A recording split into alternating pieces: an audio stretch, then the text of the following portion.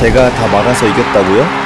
아니에요. 저 혼자 잘해서가 아니라 수비수의 헌신, 공격수의 집중력, 국민들의 성원이 있기에 팀이 승리할 수 있는 거죠. 팀 플레이가 가장 중요합니다.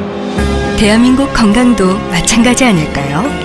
의료인들의 헌신과 국민의 합리적인 의료 소비 덕분에 대한민국 건강 팀플레이를 이루었습니다. 진심을 다해 공평하게 진실! 공평! 신평! 건강보험 심사평가원